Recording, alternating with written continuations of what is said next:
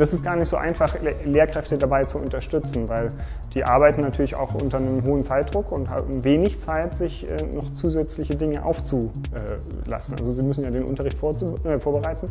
Eine Möglichkeit ist natürlich, äh, Kriterien zur Verfügung zu stellen, nach denen sie selber prüfen können, aber das setzt auch voraus, dass sie in manchen Bereichen eben Wissen mitbringen, um diese Kriterien anwenden zu können. Eine andere Möglichkeit, die ja hier mit Materialkompass gewählt ist, ist diese Bewertungen schon gleich von Fachleuten bereitzustellen. Das ist natürlich großartig und super.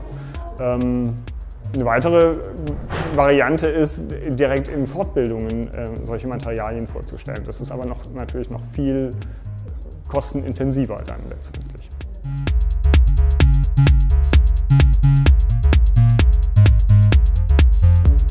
Gibt diese Gefahr, ich würde es aber nicht grundsätzlich sagen. Also ähm, die Erfahrung ist durchaus, dass externe Partner manchmal eine sehr wichtige und wertvolle Bereicherung von Schule sein können.